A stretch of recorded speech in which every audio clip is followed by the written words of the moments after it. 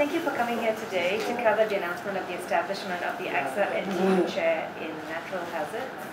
Um, this chair is the result of a 3 million euro endowment by the AXA Research Fund. And to tell us more about the AXA NTU chair, its rationale and objectives, I'd like to introduce the panel here today.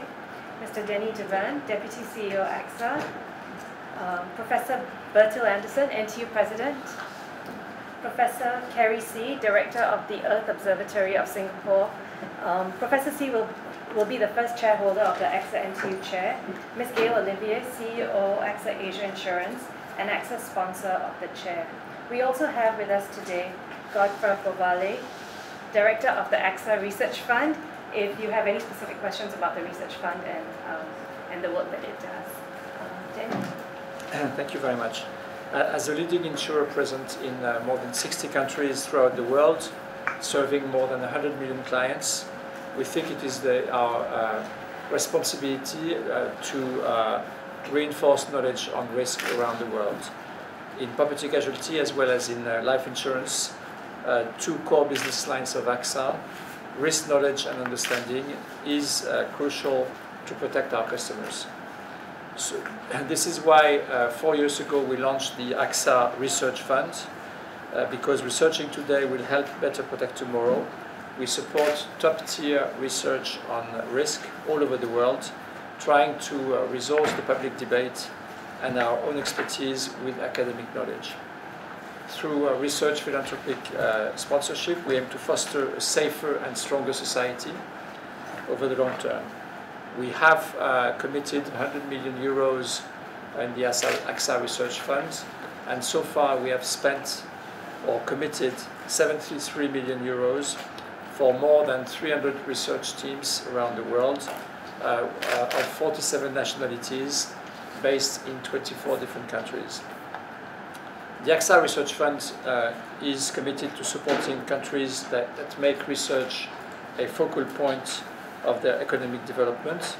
Therefore, in addition to already supporting 16 Asian researchers working in Europe, we are funding nine initiatives in Asia, uh, and uh, which are all judged excellent by their peers with no uh, geographic affirmative action. This acknowledges the internal recognition and academic excellence of the Asian research, as well as AXA's long-term commitment to the region the new chair in Singapore is exactly the kind of excellence that the AXA Research, Funds, uh, Research Fund wants to support and to partner with to better understand and prevent risk uh, for society at large. Thank you. Okay, thank you very much, and uh, good morning, friends of media. Uh, we are now today having a gift signing ceremony for the AXA Nanyang Chair in Natural Hazards, and I think that is quite fantastic and unique here in Singapore. Uh, and um, the donor AXA is providing us with uh, 3 million euro. Of course, uh, some years ago that would be even more, but it, it's respectable 5 million Singapore dollars. So this is uh, very important. What I'm impressed by the AXA allocation of research is very competitive. It's really competitive on a global uh, level, also competitive between different disciplines. And uh, I know that Sieh has worked very intensively with this application. And I know it has been very thoroughly analyzed on this totally global uh, level and um, Sieh and the Earth Observatory has been chosen. I think that's a big achievement. It's a big achievement for NT, uh, for, for uh, Kerry Sieh. I think it's a big achievement for NTU and for Singapore. That shows, of course, that Singaporean research today is competitive. Singaporean research today is competitive with the best institutions in Europe and the best institutions in the United States. And we should be proud of that, we who are working here in, in, in Singapore.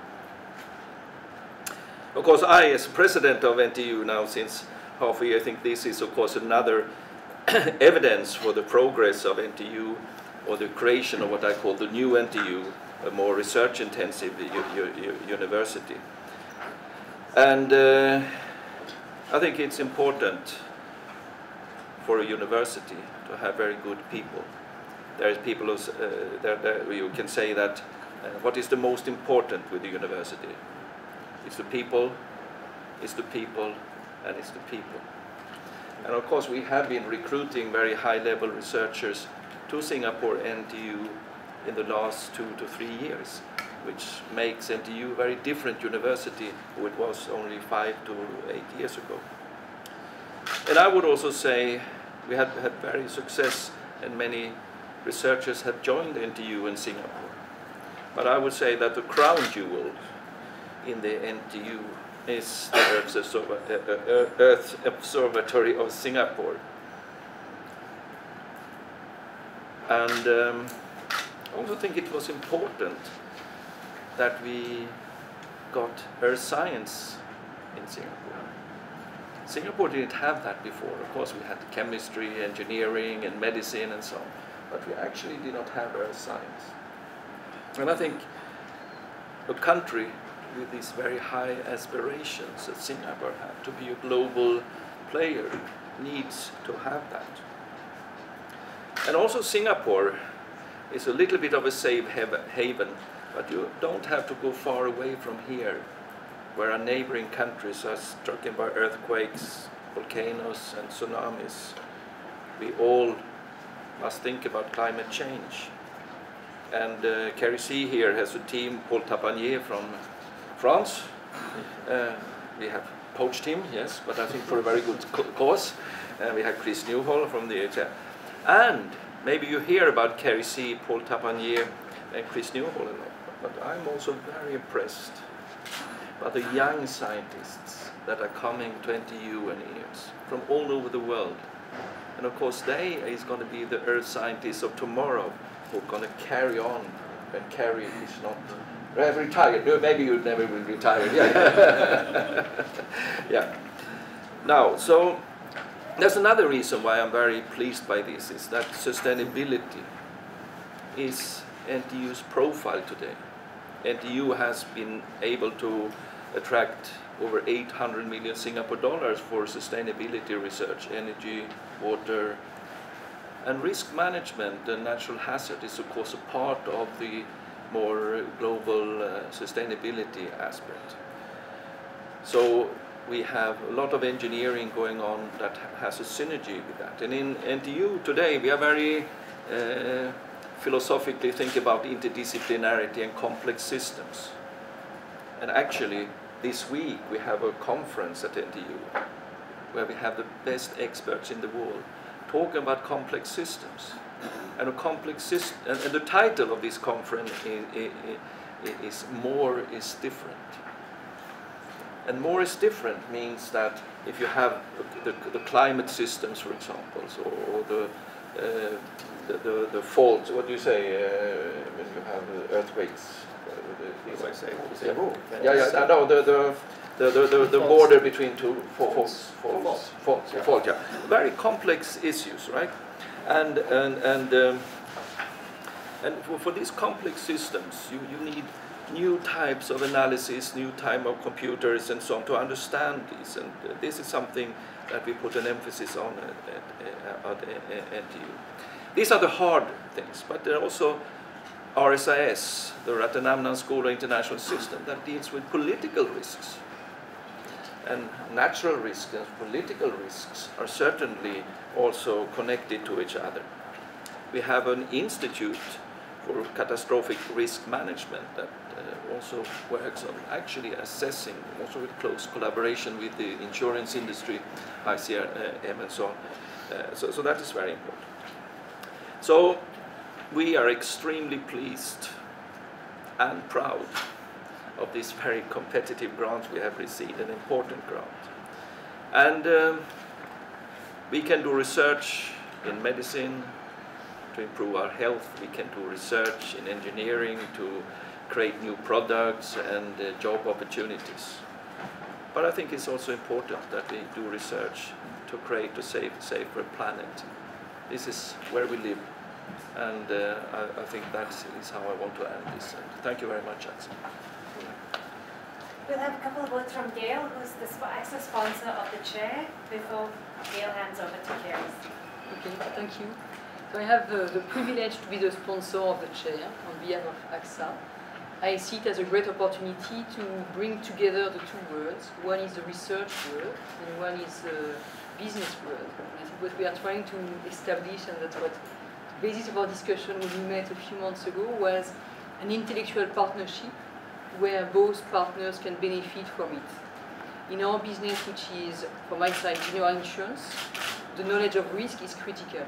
Our business is to protect risk, and to better protect risk, we need to be more aware of it. We need to be able to modelize the risk, to make assumptions, and then to price it the right way so that when our customers need us, we are still there to pay the claims and we can be there for the customers when it's very important to them.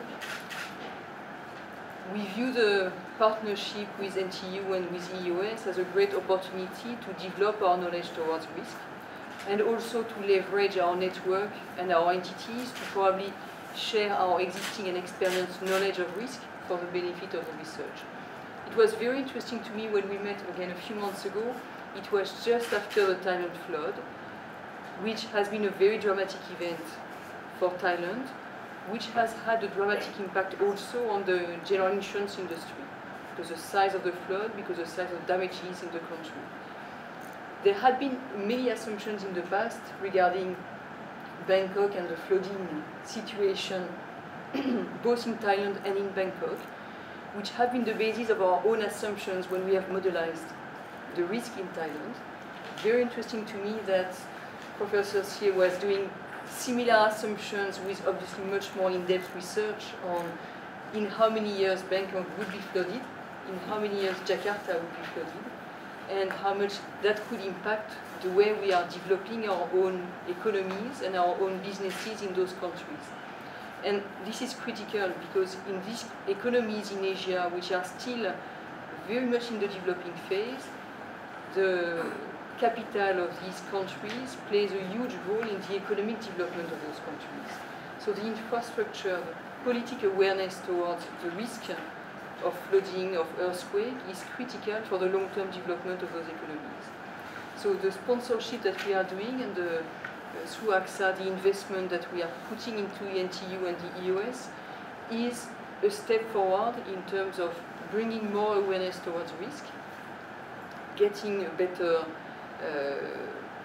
prevention towards our customers, and a better knowledge and protection versus our risk.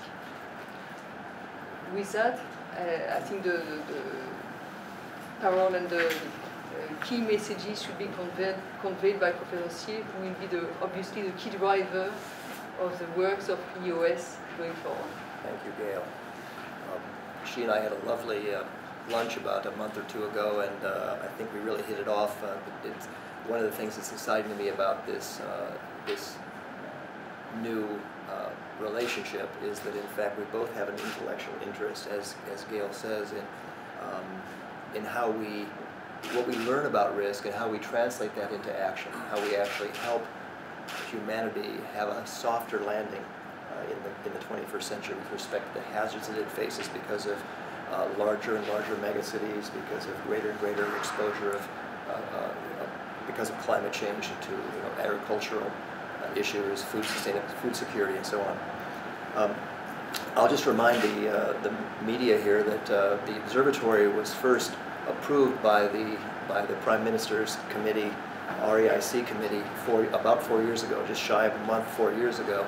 We began to operate about three years ago, and up uh, and, and, since that time we've uh, hired many fa many faculty members, mostly from abroad, but where we can from Singapore, uh, and uh, those faculty cover everything from climate research to sea level research to uh, earthquakes, tsunamis, volcanic research.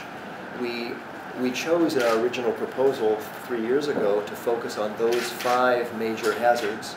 Uh, first of all, because we couldn't do everything, and they are five very important hazards here in Southeast Asia. Um, the, the subtitle of our proposal was Science for a, for a Sustainable Man-Nature Paradigm in Southeast Asia. Sustainable was put there because uh, NTU was gearing up to, to create a major focus, or we call a peak of excellence, on sustainability. Uh, it's clear that, uh, that we're coming up against limits uh, in terms of resources, whether it's water, whether it's uh, minerals, whether it's uh, energy resources. We're coming up against limits in terms of what nature will allow us to do in terms of, of these hazards. So, so from the very, very outset, we had the idea that we were, at our core, researchers.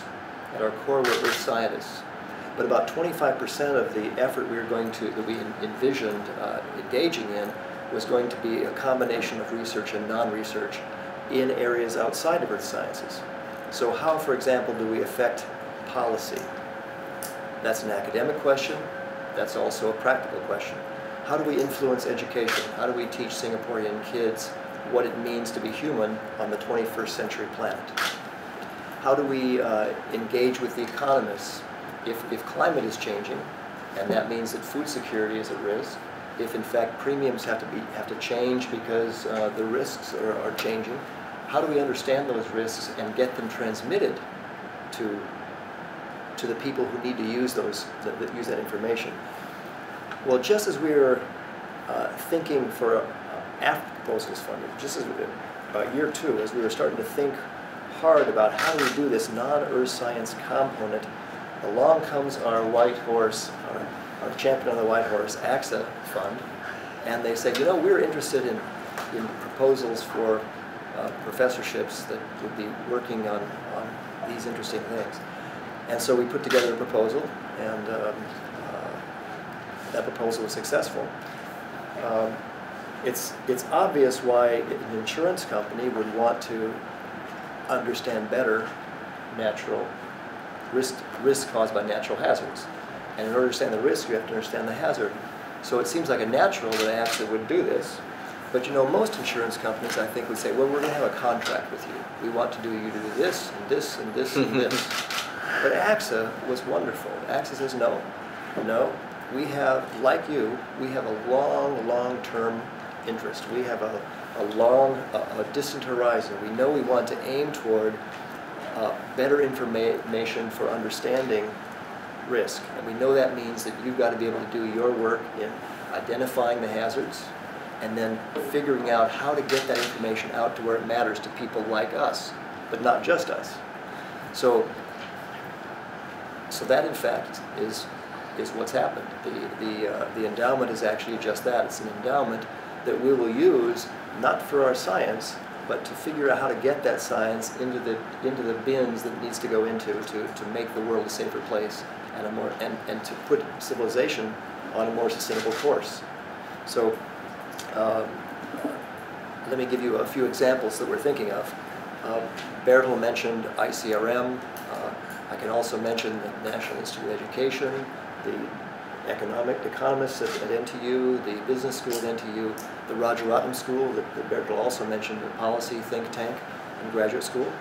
Um, we want to use this money to help to help develop stronger connections to economists, to policy wonks, or whatever we should call them officially, policy people, uh, to, to educators, to, to, to make those ties between we research, we earth science researchers and those entities stronger we want to find special opportunities within academia, within NTU. There's got to be research that we can do that isn't being done, say, in-house by AXA, or in-house by Swiss Re, or in-house by other, uh, other folks in the insurance business. So what is that, um, what, what can we actually do at the observatory, at NTU, that will add value, that will, that will ri raise all boats in terms of in terms of people, you know, people and, and businesses that are involved in trying to uh, uh, spread spread the risk, ensure ensure risk. So um, I could mention a, a I could mention a couple of particulars, but I think maybe I should just stick with those four generalities that, that we, we want to be involved in with, with economists, with policy, uh, policymakers, with uh, educators, and with, uh, with people who are in, involved in trying to quantify risk. So I think, I wasn't going to do this, but I think I'll end with a quote actually, and I'll, I'll end with a quote that's particularly apropos for French people. okay? But it comes from Winston Churchill. Oh no. Okay, it's not one of those ribald ones from Winston Churchill. It's a more. Uh, and let me put on my professor's hat now and ask you guys, what what of consequence happened to France in 1936? 1936. What of consequence happened in France in 1936? It has to do with a place that Bertil used to work. It's, it was, uh, it was the, the year of uh, uh, when France introduced the paid, uh, uh, paid vacations. you're, you're close, but actually it's, it's when Hitler invented the Rhineland, right? Yeah. He took over, he took over, uh, I, was all of Alsace? I don't know. No, no, no, no, not quite. Anyway, Sorry. anyway, and, and what happened was that uh, the, the English could have done something about it. They could have actually sided with France uh, diplomatically and said, we are not going to allow this. Yes. And Hitler would have backed off. But the British didn't do that. And consequences were awful, as we know. So here's, now I want you to think about what I'm going to read here, not in the context of what happened in France, on the border of France and Germany in 1936, but think now in terms of what's happening in this slide. Climate change. This is a melting glacier I took a picture of a number of years ago. You can see the ice still there behind Bertil's head uh, in, the, in the white, and then on top there's all the gravel that's melting out of the ice, and it, it doesn't melt, so it stays and forms a blanket. Okay? So a number of things have happened in the last 50 years, in the, in the latter half of the 21st, 20th century. Population increase uh, to, to 7 billion, made possible by technology uh, and by our being so smart. Um, limitations on resources that we're starting to, starting to see. Um, big earthquakes that affect more people because we've put more people in dangerous places. Okay, so think about all that previous context and the future in the context of whatever even Winston Churchill. So he's giving a speech and he says, owing to past neglect, in the face of plainest warnings, we now have entered upon a period of danger greater than has, than has befallen Britain since the U-boat campaign was crushed. The era of procrastination, of half measures, of soothing and baffling expedients, of delays, is coming to a close. In its place, we are entering a period of consequences. So think about that in terms of natural hazards. We are definitely in the 21st century, in a different century than the 20th. We, we, we did a number of rather unthoughtful things in the 20th century, and now we are going to have some consequences. You know, in terms of all these risks that, that Gail was referring to, how can we partner with AXA through this endowment and with others to make that to, to meet that challenge? How can we actually help to produce truly safer and more sustainable societies in face of the of the things that we did more or less unconsciously in the 20th century? So let me just add, uh, end with that poetic uh, ending and see if you have any questions for us.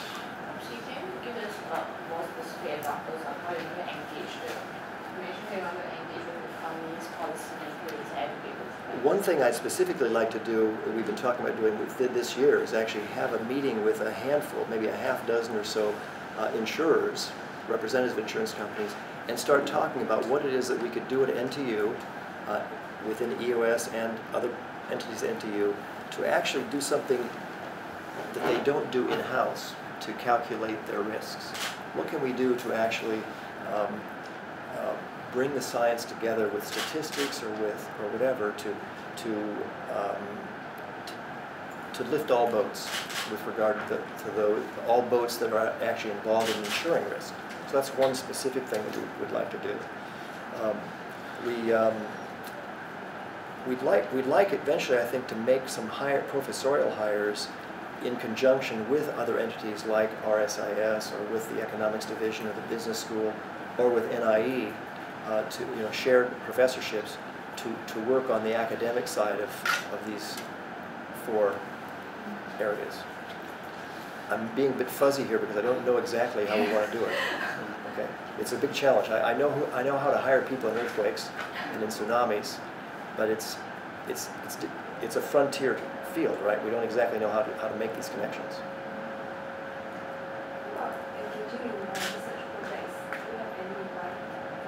Any research projects in mind? I'm a little bit resident, to, resident, resident? No, reticent to, to say anything specific uh, because I know it'll appear in the press. Um, uh, one, one, of the, one of the things, but I'll do so anyway. Uh, one of the things that Gail and I talked about that was exciting for both of us a few months ago when we had lunch was um, Jakarta, you may know, you probably don't know, uh, is withdrawing groundwater to serve its industrial and, and, its residential water needs. And it's doing it at such a, at a very prodigious rate. And when you withdraw water from the ground, the sand grains that used to be supported by the water collapse onto each other and the ground sinks. Hmm. There are parts of Jakarta that are sinking at 20 centimeters per year.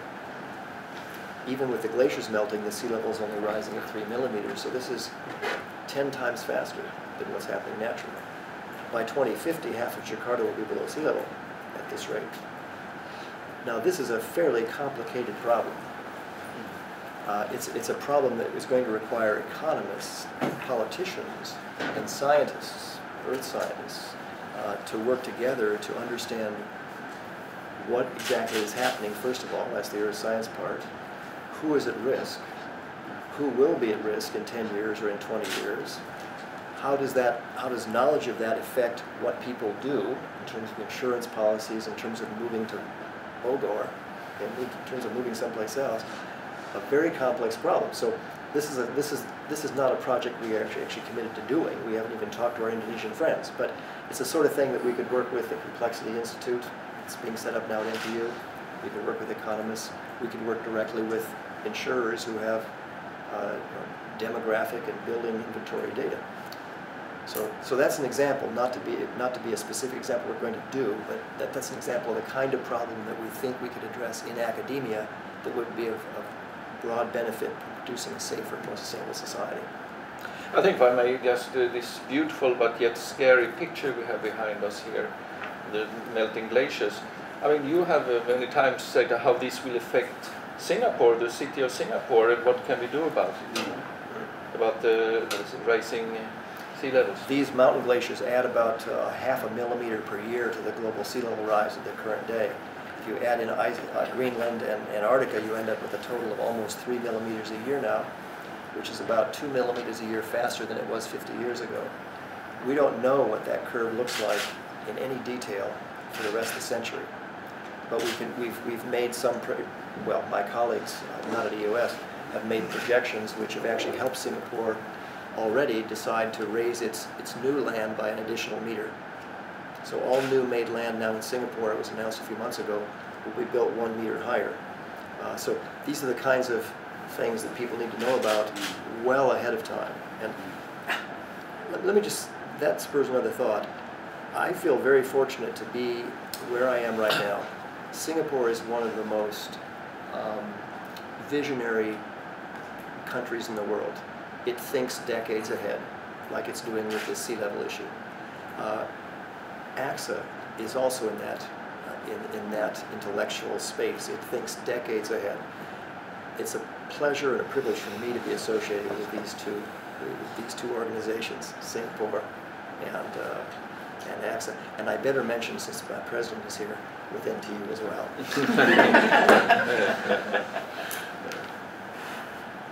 Of course, NTU is so high up, so we will not be flooded. Uh, but uh, I mean, it, it, it is downtown Singapore, and I think what what uh, Kerry Sieh and the EOS have already done to Singapore is to change the way we are, are building and planning in Singapore, just to meet that challenge of the rising sea level. I think that is already a very concrete example.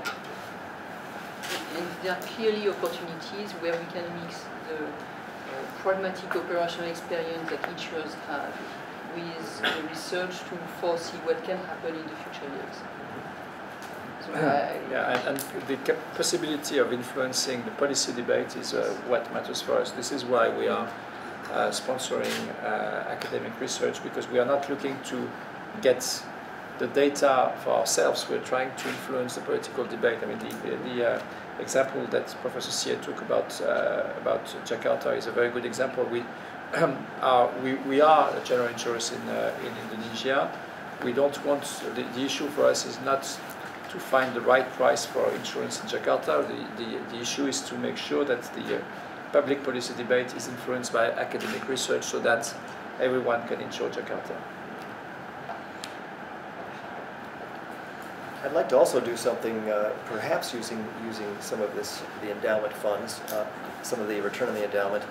Um, the last day that I was in Los Angeles, I picked up a copy of the Sunday Sunday LA Times, and right in, in bold headlines on the front page was Singapore math. Right on the front page, and I really, what is that? And so I read about Singapore Math and how Singapore Math, the way of teaching math that was developed by the National Institute of Education, by NIE, right across from EOS on the NTU campus, that they had invented a way of teaching math that was actually working for, for the underprivileged kids, the poor kids living in the ghettos of Los Angeles. First time that had ever happened. And so one of the first things I, I thought of when I, when I uh, came to, to Singapore was, let's invent Singapore earth science. So let's invent a new way of teaching earth science using examples from Southeast Asia to, and, and, let's call it, let's call it, let's brand it Singapore Earth Science. So one of the things that, uh, that uh, we're starting to work on now in, uh, in the observatory with, uh, with the help of Susan Erickson back here, who's our Director of Education Outreach, is what on earth does that mean, Kerry? What are you talking about? We don't know yet what it means. But we know we can, we, we think that if following the lead of Singapore Math and NIE, um, we think we can partner with NIE uh, to, to create Singapore Earth Science. And that that'll be something new, something novel, and something, uh, something great. Do you have any more questions? Or if you want to approach anyone of the panel, or one for one-on-one, -on -one, just let us know, we'll set it up separately. Thank you all for coming. Okay, maybe um, we can talk about um, um, what you're going to do with the research money, first of all, and what kind of research are you going to do in, in terms of connecting with businesses and community, as you mentioned earlier. A significant part of what the observatory proposed to do when it was first set up three years ago was to get our science on natural hazards out into the world where it can make a difference where it can help to build safer and more sustainable societies here in Singapore as well as elsewhere in Southeast Asia. So the AXA endowment, the, the return on that endowment and the Singapore uh, doubling of that uh, or, or matching that one for one, what that endowment money will allow us to do then is with annually then with the um, return on the endowment, we'll be able to uh, reach out into the business world, into the world of economic research, into policy research, to to, to give our research legs in the world where it, where it matters, so to, to help to build a sustainable and safer society. Why is it so important to connect with businesses, economies, and so on? Well, the reason, the reason it's important to connect with people outside of just the, the research world, the ivory tower as we call it, is that the, the, the 21st century is going to be a very difficult century for humankind. Uh, there are issues of resource scarcity, you know, where are the last resources, how do we use them appropriately, sustainably. There are issues of uh, how do we deal with tsunami hazards, how do we, how do we spread the risk around uh, when, it comes to tsunamis or earthquakes or volcanic eruptions. How do we prepare for the food crises that might occur if we have a major eruption somewhere in the globe from a volcano. So these are issues, uh, uh, these are academic issues, they're also practical issues. So the, the AXA Nanyang Chair endowment will help us actually start looking at those questions so that we can actually make a difference in the world. Can you give us some examples of what you look into? Well, one thing, I'd, one thing I'd like to do is I'd like to use uh, these funds to, to help support what I want to call Singapore Earth Science. I want to develop a new way of teaching earth science that is using examples from Southeast Asia rather than being California-centric or, or European-centric. So let's, uh, let's build a, a, a new scheme for educating humanity about what it means to live on this wonderfully dynamic planet. There's one example. Okay, great. Thank you. You're welcome. Esteemed guests, uh, good afternoon. On behalf of AXA and Nanyang Technological University, commonly known as NTU, we welcome you warmly to this very prestigious event. My name is Caroline Bohajar. I am the director of this campus, and I'm delighted to be your host for the event today. With us here today are some of our business leaders, partners, and associates from AXA together with NTU. Our focus today is to really understand how we can contribute to corporate responsibility and how we can make the world a safer place, not only for us today, but also for future generations. You will hear more about the good work that has begun through the intellectual partnership between AXA and the NTU launch of the AXA Nanyang Chair in Natural Hazards. I will now call upon Gaëlle Olivier, CEO of AXA Asia General Insurance and sponsor of the AXA Nanyang Chair, to open the event. Gaëlle.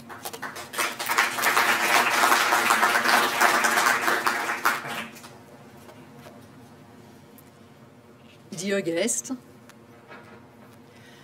I have the privilege today to be the sponsor on behalf of AXA of the partnership we are building with NTU EOS, the Earth Observatory of Singapore.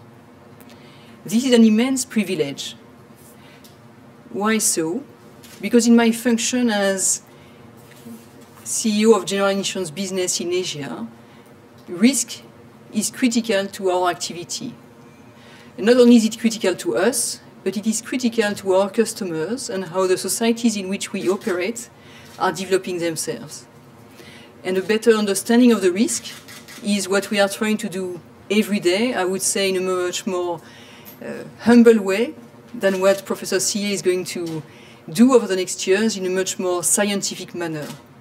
But I see this partnership as a way to combine efforts, as an intellectual partnership where we can share our knowledge, where we, AXA, we can share our experience of risk, and I must say, unfortunately, in some cases, we do have some experience of risk and that we can share with our scientific community to prolong their effort in terms of better understanding the risk, but also better modelizing the risk in the future.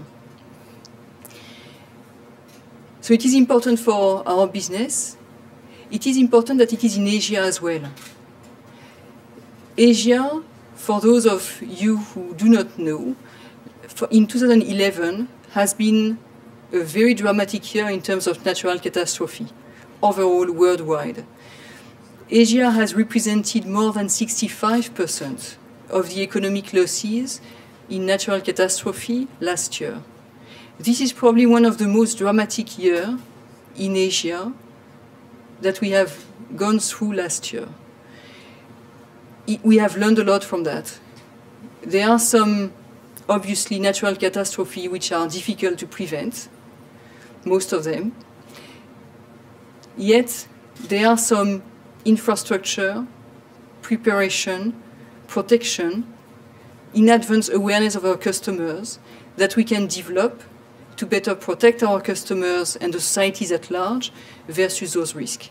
I think this is what we are trying to do. The aim of our partnership with EOS is to contribute to the development of the scientific research towards risk so that all together we can build a safer society going forward. It is therefore my pleasure to welcome here Professor Sieh, Denis Duverne, who is the Deputy CEO of the AXA Group, and Bertil Andersson, who is uh, uh, chair of the NTU, and for all of them to express to you why we are doing this partnership, what we expect from it, and I look forward for a very successful intellectual partnership. Thank you.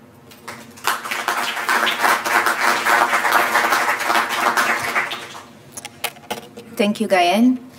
I will now invite Professor Bertil Andersson, President of NTU, to address us all. Professor.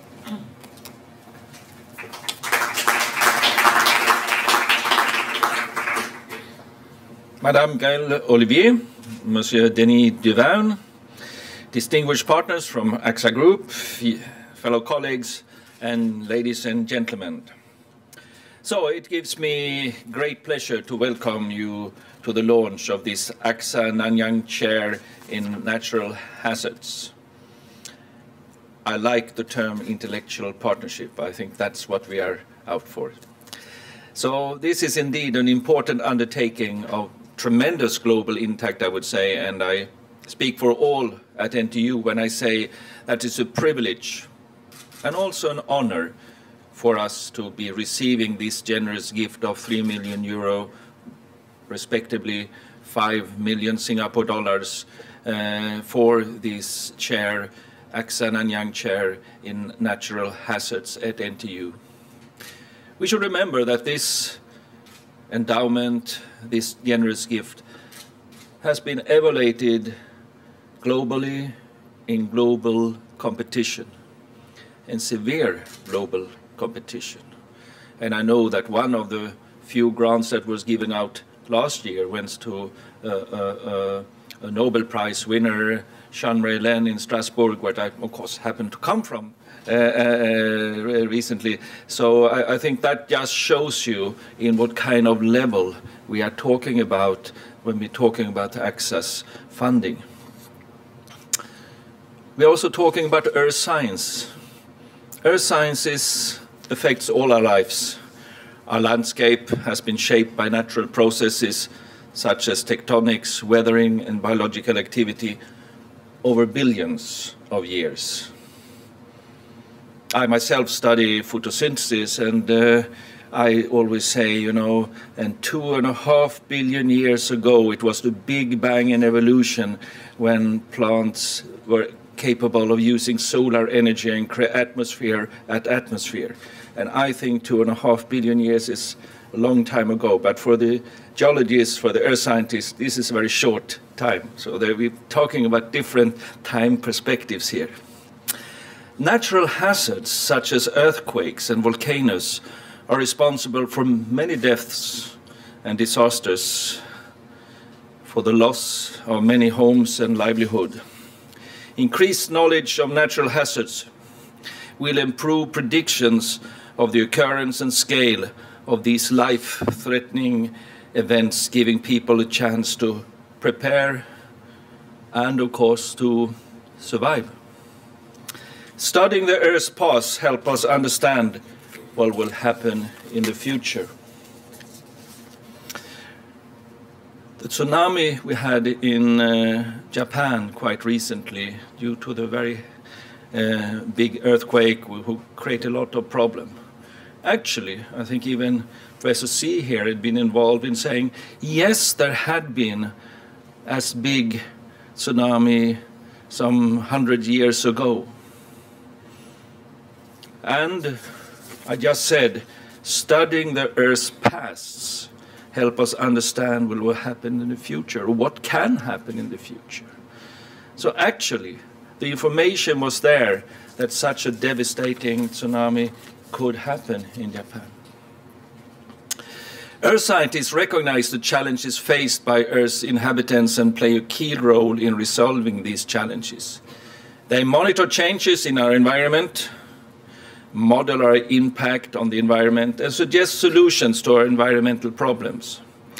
They also participate in global efforts to understand these infrequent but often devastating events such as tsunamis and earthquakes, as I just mentioned. And I think that points to the thing. It's rare, high consequence events. It's actually hard for society to deal with this. Are you going to make a billion dollar investment to build a protection walls for something that may not only happen in 283 years? I mean, that's an interesting eh, question. And the rarity also means that we don't really know about it. When the 2004 tsunami happened here in Indonesia, but spread over a lot of all the Indian Ocean, there were Swedish, 1,200 Swedish tourists died in Phuket due to this.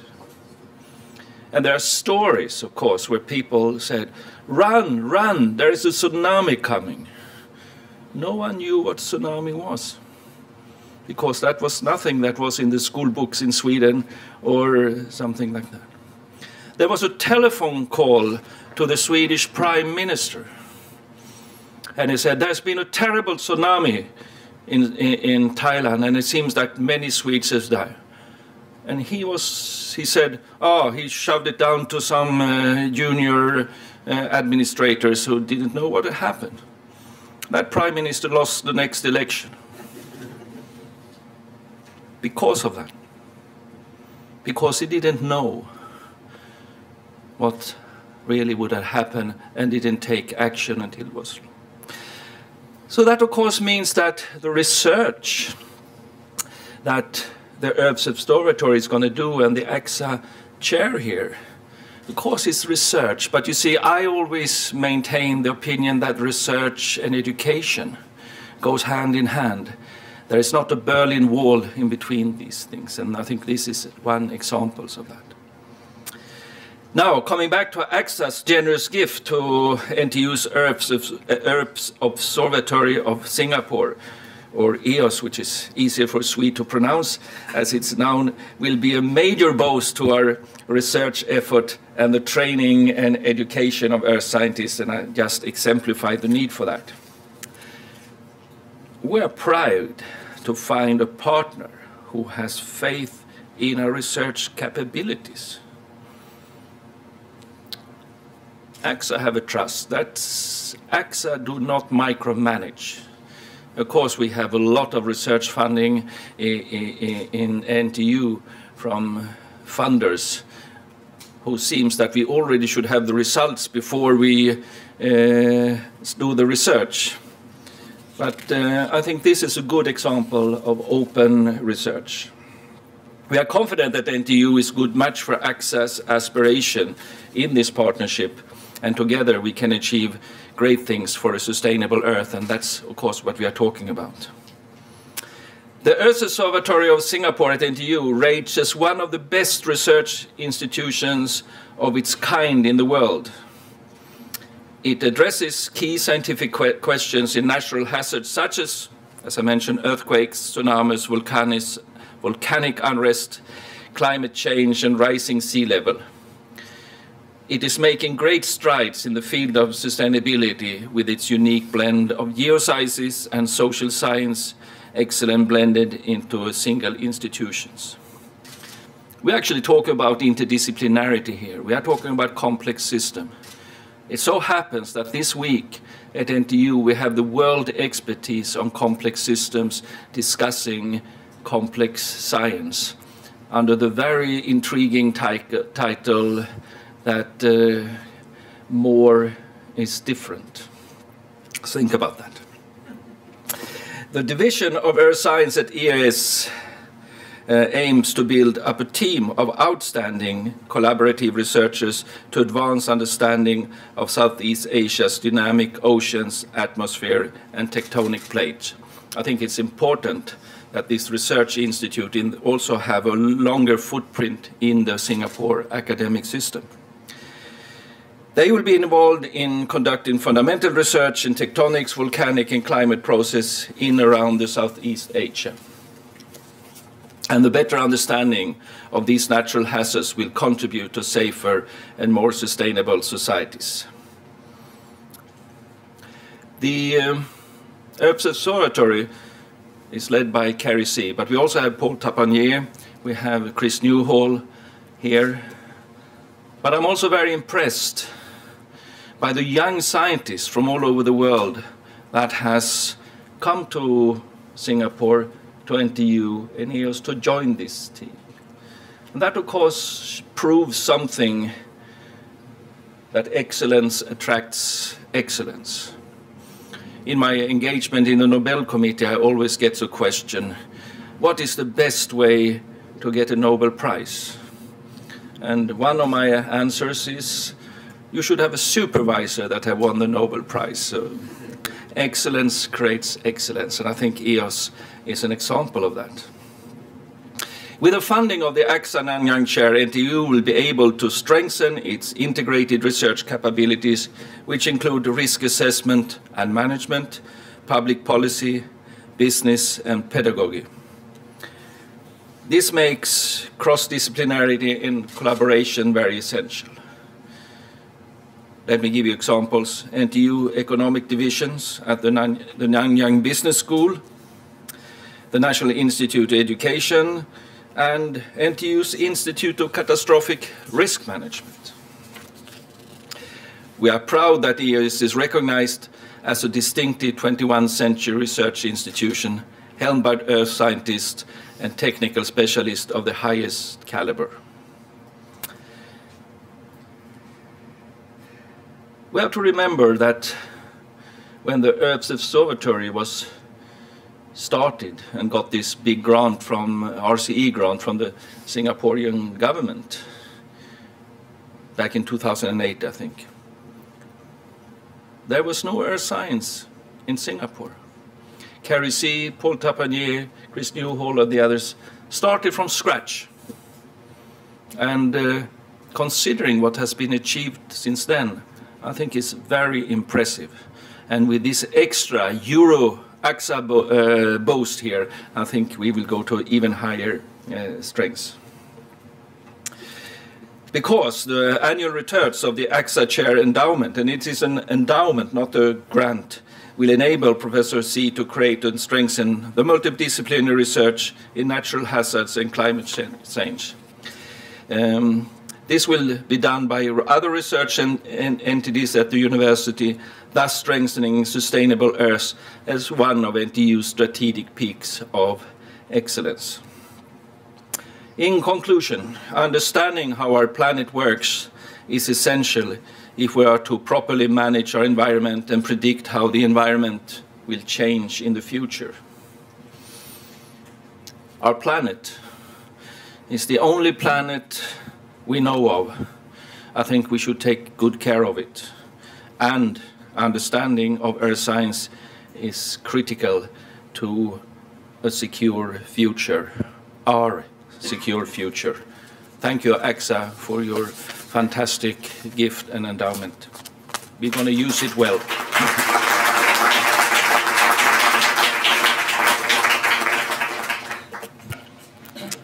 Thank you, Professor. It is now my privilege to invite Monsieur Denis Duverne, Deputy CEO of the AXA Group, who flew in especially for this event, to tell us more about the AXA Research Fund. Monsieur Duverne.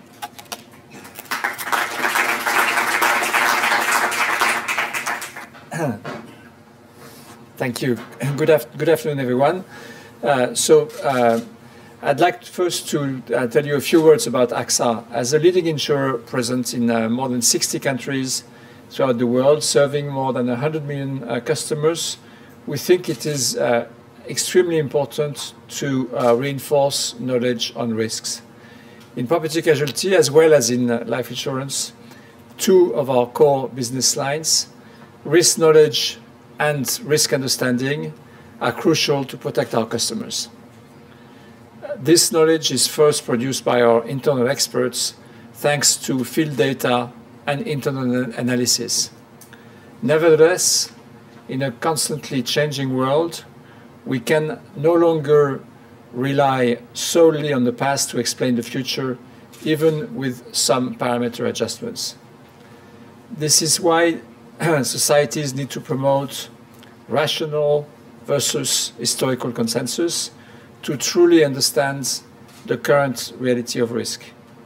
In this perspective, we have to complement and uh, challenge the established consensus, including our own expertise, by knowledge produced in the most advanced academic, and, academic environment.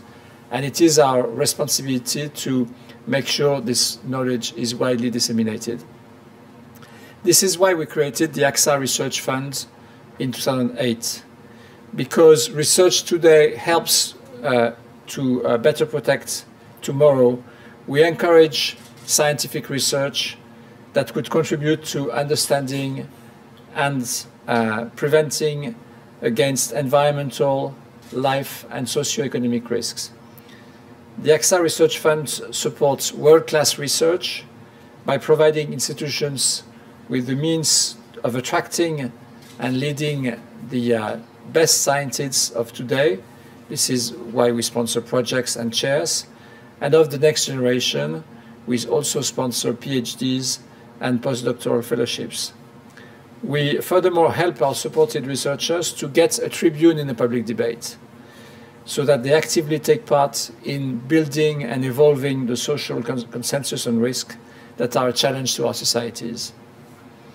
The AXA Research Fund is a, uh, an ambitious international scientific philanthropic activity initiative, sorry, We finance more than 300 researchers from 47 nationalities based in 24 countries.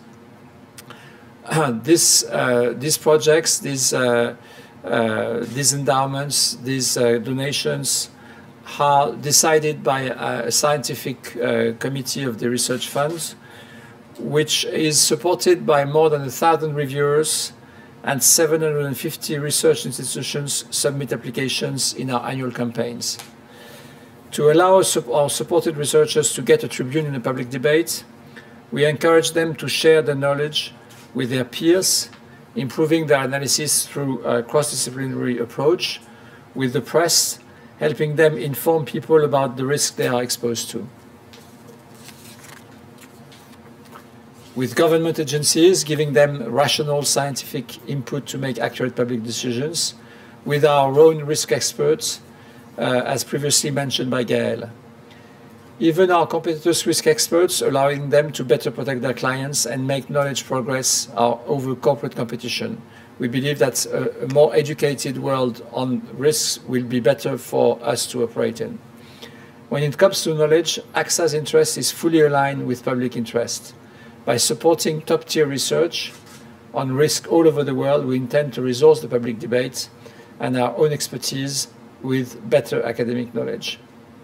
We aim to foster a safer and stronger society over the long term. So why are we doing it also in Asia? Uh, it's obvious.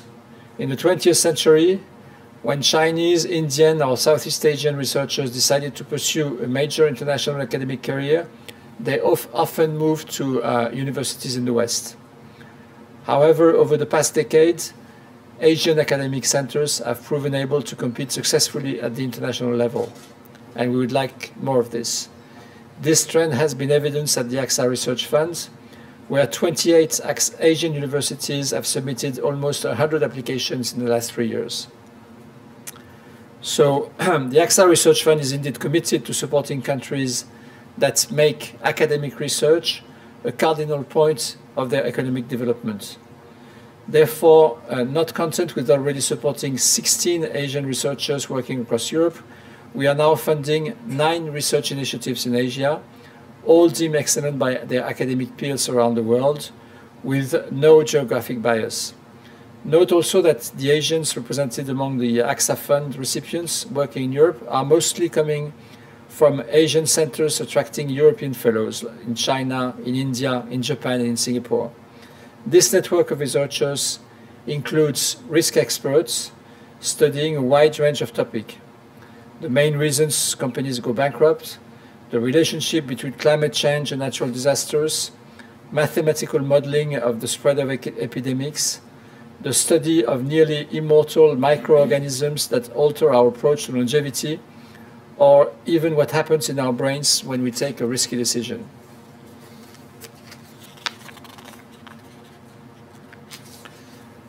As some of you may know, Singapore was the first uh, Asian country where the AXA Research Fund has awarded a grant. One year later, it's again a Singaporean university which is being awarded our first Asian chair. So far, we have committed close to 4 million to support Singaporean research, half of the budget committed to Asian research, and we will continue to do so in the future if you continue to come with uh, nice uh, projects to uh, the head of the research fund, um, who is sitting next to Bertil. In recent years, Asia has been hit by some of the most catastrophic natural disasters, and Gaëlle was uh, mentioning that. In 2011, we had the Tohoku earthquake in Japan, with the, uh, followed by uh, the tsunami that everyone talked about. In July, there was the monsoon floods in Thailand that persisted until mid of January of this year. In September, there were big floods uh, and landslides in, in China that affected more than 12 million people. The threat of climate change in Asia is, uh, is absolutely obvious. In addition to that, uh, uh, and Bertil mentioned the, uh, the, um, the, the, tsunami that hit Sumatra in, uh, and a large part of Asia in 2004. Uh, there, there is clearly the issue of the disproportionate impacts of natural disasters on vulner vulnerable populations, mainly due to the fact that the wealth is concentrated on the coastal areas and to the lack of awareness on risk driven by climate change. There is an increasing need of awareness of such risk among the Asian population, and we not only want to focus on uh, very high quality academic research, but also making sure that this research, research is widely disseminated. To this end, the AXA Research Fund has established the uh, uh, AXA Nanyang Chair in Natural Hazards, an intellectual partnership fostering AXA's mission to raise awareness on risk related to climate change and natural hazards. I sincerely wish all the best to Professor Sieh and his team and would now invite him to introduce his work. Thank you very much.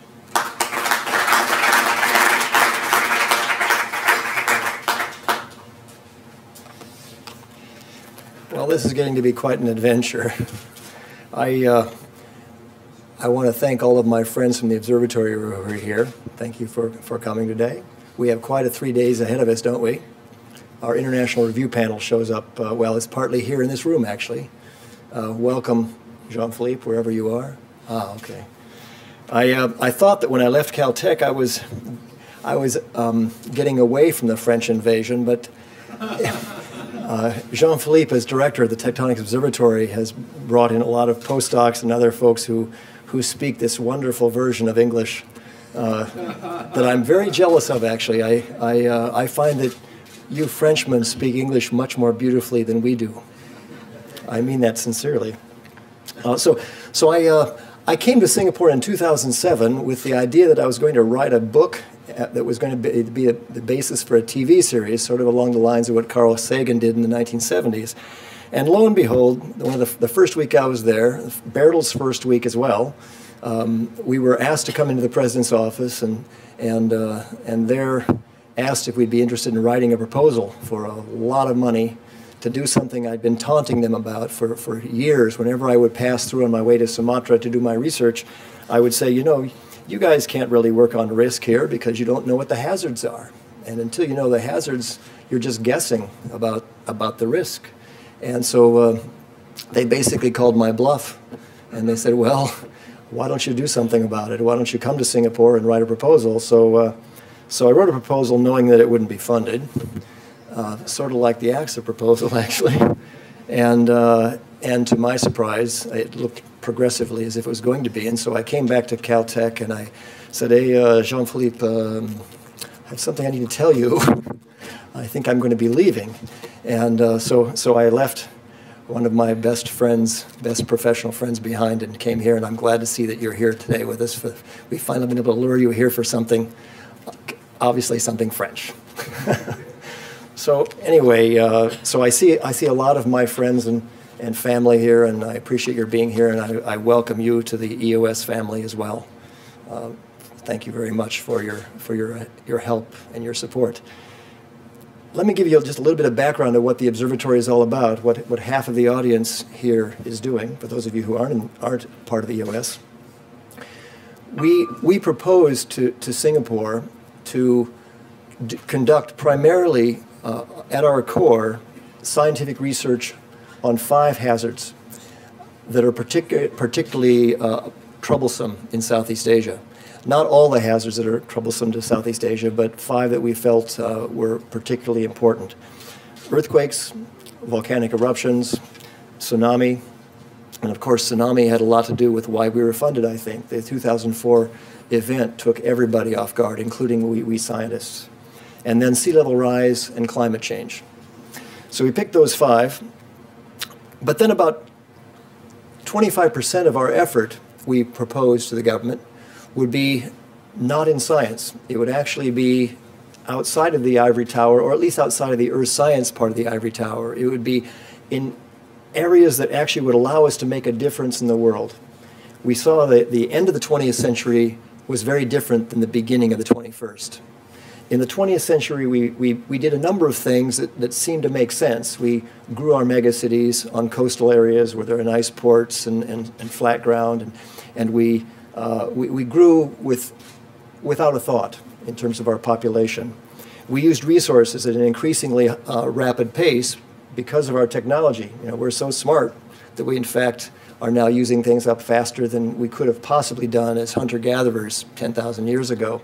Or even as farmers in a village uh, 500 years ago. So we got ourselves into quite a predicament in the latter half of the 20th century. And the 21st century, science and technology have to help us get out of it. They have to help us with a soft landing, with a, uh, to build a more sustainable culture, a more sustainable civilization. I'm really pleased at the, the words that, that Gaëlle and Denis spoke about AXA's longer term vision, their, their, their broad vision of trying to, to help build towards safer, safer and more sustainable societies. It's, it's completely in league with what we're trying to do at the observatory and uh, the intellectual partnership that, that Gaëlle mentioned that Bertil said he liked um, is a very exciting prospect for us. So just as we are in the midst of trying to figure out, a few years on in the observatory's life, uh, a year or so ago, just as we were in the midst of trying to figure out, okay, wise guys, we talk about doing something outside of Earth science. How do we do it? How do we actually get earthquake research or volcanic research or sea level research? How do we actually get that to somewhere where it makes a difference, where we're not just um, having press releases that say, oh, we've, we've uh, uh, shown that an earthquake could happen? Well, how do we actually get that to where it makes a difference in, in policy or in, in economic in economic activity or in uh, uh, as it pertains to the growth of Singapore or the uh, the the growth of, of, of, Indonesia or, or the opening up of, of Myanmar. How do we do that? Well, it's a tough question, but right at the time we were starting to ask that question again, along comes the AXA fund and says, "Hey, what would you would you like to propose uh, to, to do something in in this realm?" And so, um, so what we proposed was that we would work in basically four areas if we, have, if we had the AXA money. We would work on inventing something we might call Singapore Earth Science. So working with NIE, the National Institute of Education, which trains every Singaporean teacher, uh, working with them, we create something that, like what we heard uh, four years ago, uh, Singapore Math, uh, the last the last weekend I was actually in Los Angeles before I before I uh, uh abandoned ship there. Uh, I opened up the well, I picked up the L.A. Times and I saw a headline: Singapore math makes a difference in in uh, in Los Angeles ghetto schools, and I thought, well, what the heck is that? What is Singapore? I knew what Singapore was, but I didn't know what Singapore math was. So, so it turns out there's an innovative way that NIE has invented to to teach kids better how to learn mathematics involving visual aids and so on. So I don't know what it is yet, but I'm hoping that part of what we use the AXA money for, the, the return on the money, will be to invent Singapore Earth Science using, using Southeast Asian examples. Maybe examples of tsunamis that Genoa over here models, or examples of climate change that, that uh, Shenfeng sees in a, in a stalagmite from Burma. Uh, who knows? Maybe using examples that Paramesh, uh, our technical GPS uh, expert, uses to, uh, to, to, to monitor deformation in Sumatra. So we'll invent something called Singapore Earth Science. So that's one of the four areas. What about policy? How do we actually make a difference in the mind of, of, of, politicians or in the mind of people, minds of people who are actually making the decisions that, that steer societies in one direction or another? How do we influence the, um, the, the government of, of, of uh, Indonesia or Jakarta when it comes to understanding why Jakarta is sinking at up to 20 centimeters per year. What is it about groundwater withdrawal that causes that to happen? And once you know that, and once you can forecast that half of Jakarta will be uh, under, under well, not underwater, but below sea level by 2050, how do you actually not just get a citation for that? How do you, how do you not just get a published paper for that and, and chalk one more check on your, on your list toward tenure? How do you actually make a difference so that people actually then do something that makes sense for their future safety and their sustainability? How do you influence an insurance company that already has in house research capacity, but how do you do something special in the academic setting that helps them understand what their role is in helping to, to, to make Bangkok or, or um, an agricultural landscape or, or uh, Jakarta a place that's livable by the 21st century. So there's a second area then, policy.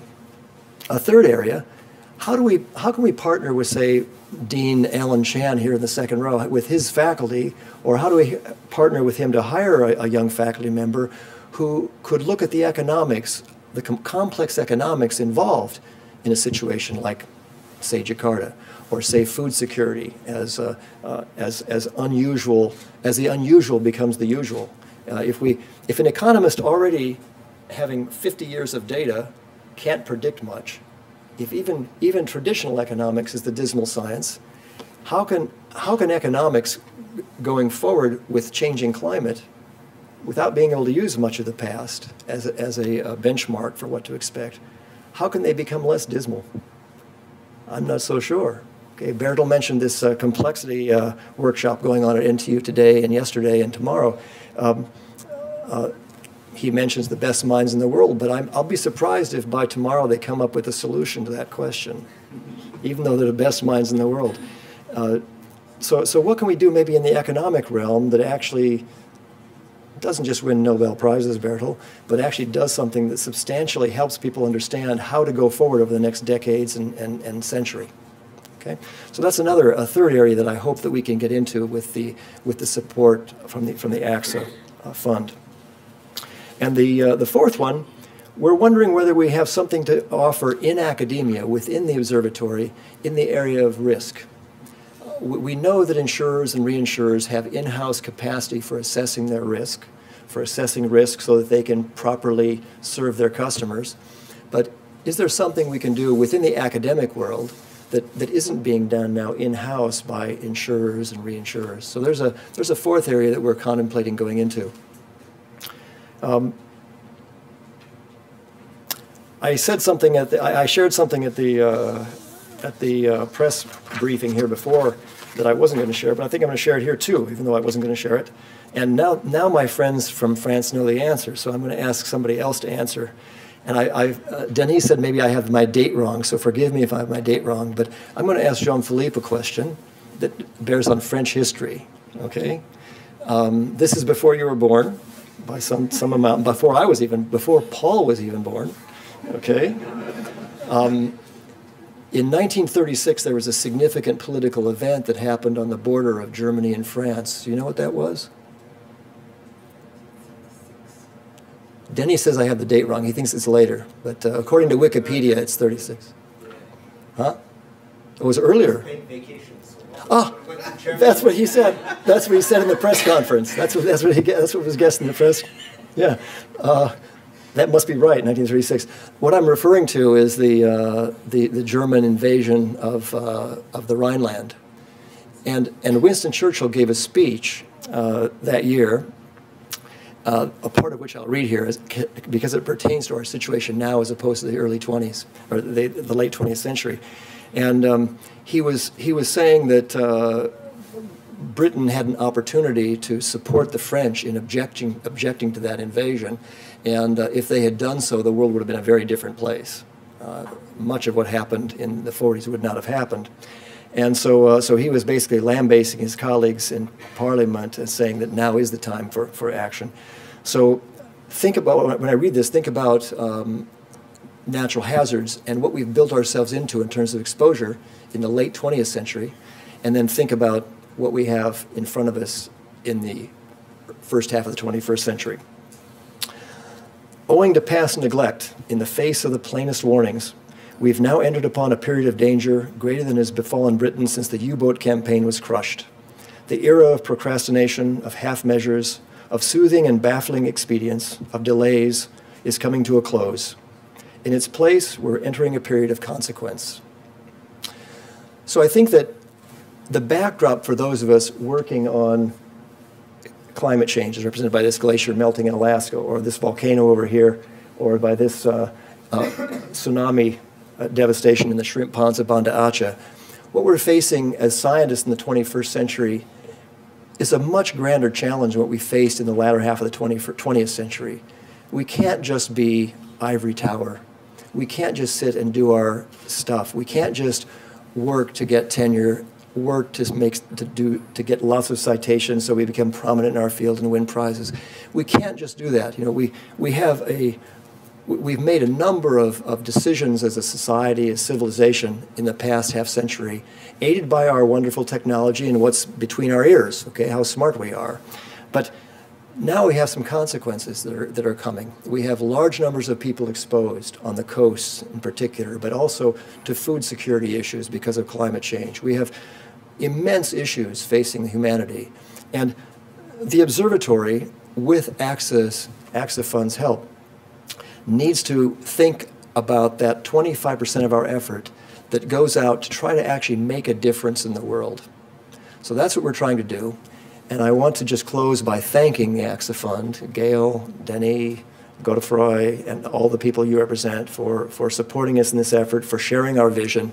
And I want to thank uh, all of you who have supported uh, the observatory over, over, the past few years. And uh, I particularly want to thank also all my colleagues here in the back who, uh, in the best tradition of NTU students, are sitting at the back.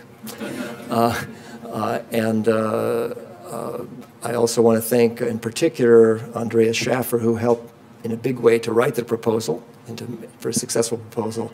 And I also want to thank my partner Kemp for uh, for coming here with me to Singapore. I don't think I could have handled it without his without his help. Where are you, Kemp? Are you hiding somewhere? Oh, there he is. Okay. So thank you all very much. Uh, I look forward to continuing this adventure with you all.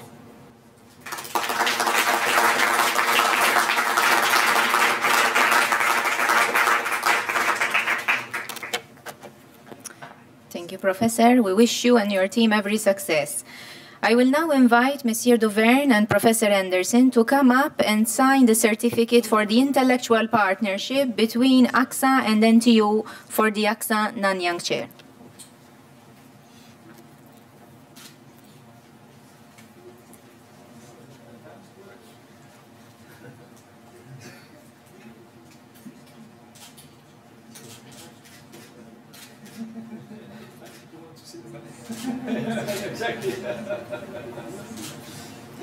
He, he had to write first, so I'm sure there was some money. then I accept the money. Okay.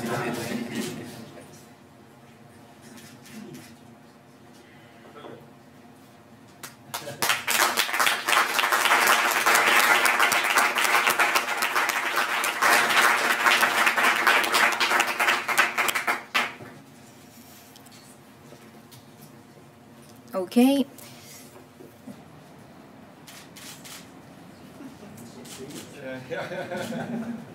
Look. My goodness, this is worth something. It's got.